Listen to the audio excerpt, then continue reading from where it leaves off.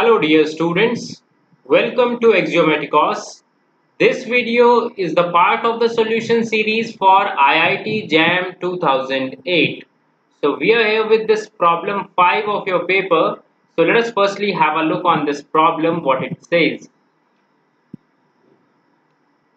It says the set of all boundary points of Q in R is so what question is asking? Question is asking us about the boundary points of a set Q. What is Q here? Q is the set of rational. R, R minus Q, Q and empty set. So these are your options, right? So firstly what we need to define, we need to define boundary points for a set, okay? And only after that we can uh, we can figure out this question. So let me show you the definition for this so this is the definition what we are going to look at. We are going to look at just only the first definition. Okay. So we have three equivalent definitions for the boundary uh, boundary points of a subset S of a topological space. So let us firstly see this thing. So what it says the closure of S minus the interior of S so what uh, what we have we have the boundary points okay? The definition for the boundary point and according to the definition boundary point is actually the closure of s minus the interior of s. That is okay it is represented by del s. So del s actually represent the boundary points. So it is equal to s closure minus s interior. So you got my point? I'm not going to read these remaining definitions. They are also equivalent so what we have to use we have to use the first one. Okay we can use any of them but the first one is a little bit easy. So what we have according to the definition okay let me change my pen. Okay it's not white. So wait.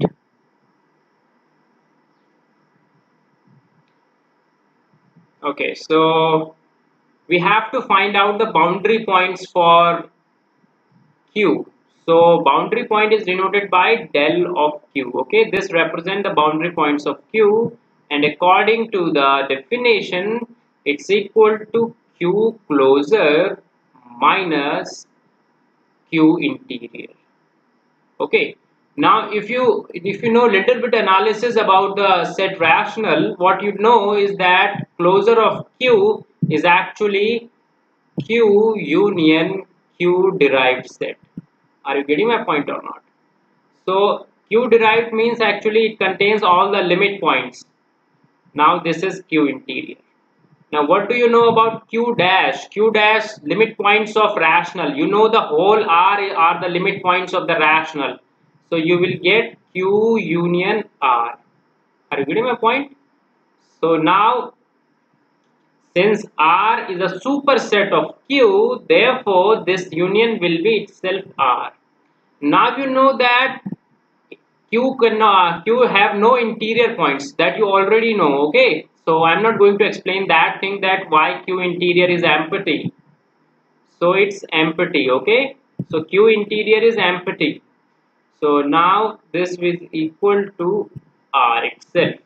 So what you finally concluded that R is the set of uh, is the set of boundary points for Q. So you got my point. So what things we have used? We have used that Q dash is equal to R. Another thing is Q interior is also empty. Are you getting my point?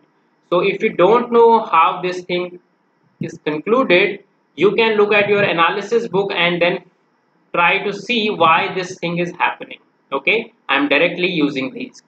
So therefore a option is a correct option b is incorrect c is also incorrect and d is also incorrect. So the only correct option is a. So this is how we should proceed in exam. So what uh, if you if you know these basic definitions you can finish this question in in just a minute okay? We don't take uh, it is this question is not going to take much time there. So thank you